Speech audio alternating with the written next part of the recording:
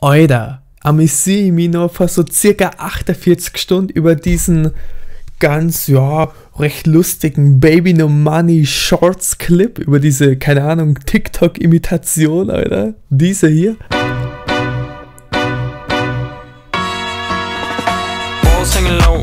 Ohne zu wissen, was mir binnen den nächsten 24 Stunden geschieht. Scheiße, Alter. So, nur mal so erwähnt, ähm, als zweites Video wollte ich eigentlich ein äh, Video machen über einen sehr, sehr mysteriösen und einen sehr, sehr mysteriösen Datenträger machen mit einer wirklich crazy, crazy Hintergrundgeschichte, wo ich mich wirklich frage, ob das nur ein Zufall ist. Aber dann ist mir gestern richtig dumme Scheiße passiert und ich übertreibe sehr gern und in zukünftigen Videos wird anders sehr hart übertrieben. Aber der Titel ist leider keine Übertreibung. Äh, Wie es dazu gekommen ist, kann ich jetzt gleich mal erläutern. Genau, und zwar war das Ganze gestern. Nur mal so erwähnt, ähm, jetzt ist gerade der 10.8., 22.02 Uhr und das war gestern an einem Montag, wo ich Urlaub gehabt habe. Also, was schon, Samstag, Sonntag, Montag, three in a row. Einfach mal kurz bis die verlängertes Wochenende gegönnt, weißt du? Und ich habe mir gedacht, da mache ich einfach noch ein paar Erledigungen, habe noch ein bisschen Kohle zur Bank gebracht, so einen Sack voll Münzen, kurz einen eingeschmissen und äh, überweisen lassen und zum Zahnarzt bin ich auch noch kurz und davor habe ich mir schon gedacht, so, hm, ist doch ganz warm, nices Wetter, schmeiß mal doch schnell ähm, Badhosen und Handtuch ins Auto mit rein, damit ich vielleicht danach noch kurz in den Fluss springen kann. Die Stay, äh, wo ich eine bin, äh, da war ich schon mal. Also ich war da zweimal insgesamt, einmal irgendwann und einmal gestern. Und die Stay ist an sich wirklich mega, mega nice, weil das ist nahe so einer Kaskade, also so einer künstlichen ähm, Stufe, um den Fluss ein bisschen mit Sauerstoff zu bereichern. Das war es erstmal wirklich richtig nice. Also ich habe da schon so einen Rettungsring gesehen und mir war schon klar, dass das äh, eine potenzielle äh, Todesfalle ist. Und wie, ich da das erste Mal rein bin, ähm, habe ich mich da vorsichtig so ein bisschen heran,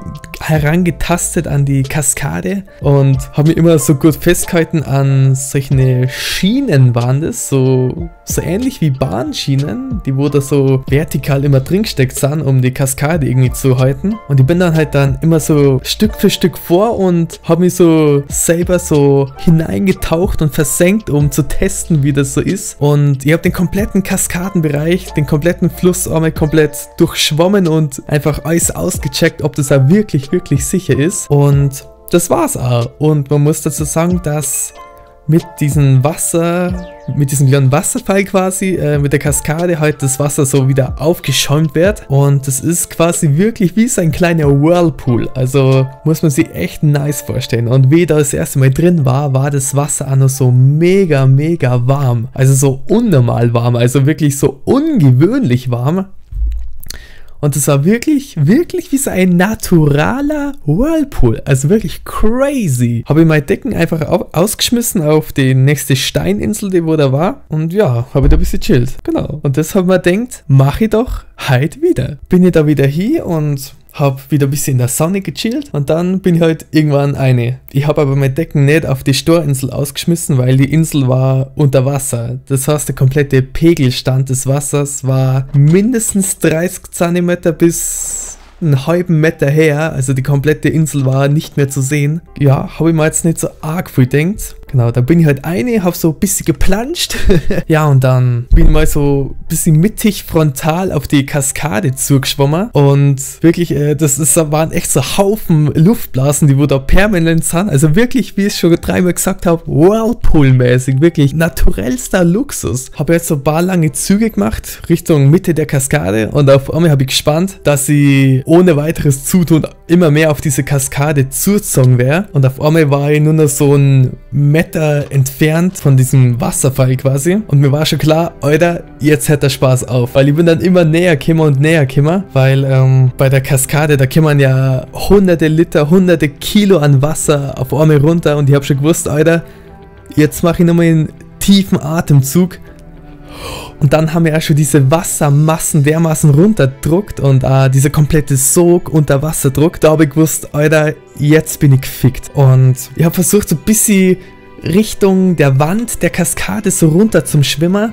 und mich irgendwo festzuhalten, damit ich mich irgendwo wieder aufhangeln kann, quasi an die Schienen oder irgendwo mich festhalten zu versuchen. Und ich, ich habe sogar den Boden erreicht mit den Sternen, aber das Wasser hat mich direkt wieder weggezogen. Also diese Strömung war so krass, die hat mich direkt wieder weggezogen. Also ich habe die Sterne schon berührt, aber wirklich nur für einen Moment und dann war ich gleich wieder weg. Und dann war das aber mein Glück, dass ich bis ich dir ver versucht habe zu tauchen bis zum Boden, weil ich glaube, äh, dieser, dieser Strudel, diese lebensgefährliche Wasserwalze, ich glaube, da habe ich es geschafft, wirklich ganz ein bisschen klein runter zu dippen. Und ich glaube, das ist auch äh, das Geheimnis bei solchen Wasserwalzen zu überleben, dass man die quasi untertauchen muss versuchen zu untertauchen. Wie ich dann von diesen Steine wieder weggeschwemmt worden bin, habe ich keinen Halt bei irgendwas gehabt. Und dann so 10 Sekunden später oder so, keine Ahnung, habe ich dann so langsam gespürt, wie es ein bisschen luftig wird, wie, wie wieder mehr Luftblasen um meinem Kopf sind. Und dann habe ich meinen Kopf endlich wieder rausgekriegt. Und dann war ich auch schon so 3, 4, 5 Meter von, von dieser scheiß Todesfalle entfernt. Und ich habe meine Crocs da auch gehabt und mein einer Croc war mir schon voraus. Den bin ich ganz schnell hinterher getorkelt,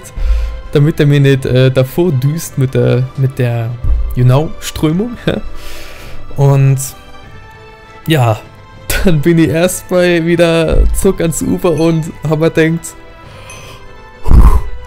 wow, scheiße, Alter, fuck. Genau, und mein anderer Croc, der war immer nur im Wasser, also immer nur in der Kaskade, der ist immer wieder eingezogen worden und immer wieder rausgekommen und wieder nein. Und ich habe kurz darauf einen Snap verfasst, wie mies böse mir diese Walze gerade eingezogen hat. Und das sieht man auch den Croc wieder, wieder immer noch äh, eine und wieder rauskommt und ich habe da locker 10 Minuten, eine Viertelstunde gewartet am Ufer, bis der endlich mal aus Zufall rausgeschwemmt kommt und dann habe ich den auch gleich eingesackt. Aber, Alter, das habe ich krass unterschätzt.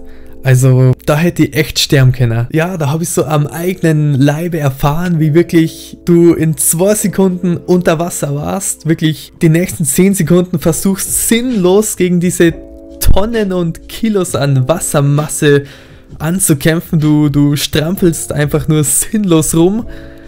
Und das war wirklich mein Glück, dass ich bis zu dir vergangen bin und dann habe ich einfach dieser Strudel, der weiter oben war, einfach, glaube ich, nimmer erwischt und die untere Strömung hat mich dann einfach, glaube ich, da rausgetragen. Und das war echt mein Glück, weil der Rettungsring, der hängt da nicht umsonst und da ist, glaube ich, schon mal ein Flüchtling umgekommen. Und ich glaube, das war in der Zeitung. Ich bin mir nicht sicher, ob es da war, aber ich bin mir schon sehr sicher. Und ich habe auch heute in der Zeitung gelesen, dass jemand am selben Fluss, Alter, da auch an seinem 43. Geburtstag ausgerechnet da auch irgendwie ins Wasser gefallen ist und den haben sie auch nur leblos irgendwann später rausgefischt. Und an der Isar hat es ja auch noch so ein Drama gegeben mit einem 14-jährigen Bur, der seinem Boy hinterher ist und dann Dude, der, der ist auch fort, da haben sie die Suche auch eingestellt und holy shit. Da habe ich echt gespannt, wie in 10 Sekunden du sinnlos gegen diese Wasserkräfte kämpfst, du einfach komplett kraftlos wärst und dir das Wasser einfach permanent in der Reißen hat, Alter. Also das war wow. Shit, Alter. Und ich habe da am Ufer gesehen, so ein Holzkreuz. Das war vielleicht vor dem Flüchtling, ich weiß nicht, da war nicht ein ganz deutscher Name drauf, aber da war ich echt um Haaresbreite verreckt, Alter, also nimmer lustig, holy shit, also das war mal eine Lehre und hoffentlich jeden, der das sieht jetzt auch, Alter, das war, oh. Scheiße, Alter. Ich war jetzt nimmer da, wo ich jetzt bin, hätte ich nicht so elendigstes Glück gehabt. Damn, Alter. Damn. Und wie gesagt, dass ich da nochmal ein bisschen in tiefere Ebenen gelangt bin, das hat wirklich entschieden, ob ich gestern eine neue Netflix-Serie angefangen habe oder ob einfach bloß ein Ding Dong kommt. Und zwar Polizisten vor meiner Haustür stängern und meine Eltern was Tragisches mitteilen müssen. Boah, leck mir am Zuckerli, Alter. Und ich werde diese Schönheit der Natur mit definitiv mehr Achtung genießen. RIP an den Flüchtling, RIP an alle anderen. Das sind Kräfte, gegen die man nimmer so leicht ankommt, Alter. Das ist das Spannendste, wie in 30 Sekunden Game Over sein kann. Fucking Game Over. Ja, so war ich gestern am 9. August fast gestorben. Ja, mehr habe ich eigentlich schon gar nicht zum Verzeihen. Ähm, dieses mysteriöse und geheime Datenträger-Video, Alter, das, da hat es auch noch so einen Plot, Alter, das wäre dabei so richtig, richtig geschmackig, Alter, sheesh. Alter, das wäre, uh, ja, da, da, da könnt ihr euch auf was freuen, Alter. Also das wäre sehr, sehr nice. Ja, in dem Sinne, passen Sie auf, hauen Sie rein und ja, bis zum nächsten Video. Curry mit äh, Pommes und Fisch und, und Schokolade und, und, und ganz viel Pommes und, und vergessen den Fisch, ne? Der Fisch. Don't forget the fish, bitch!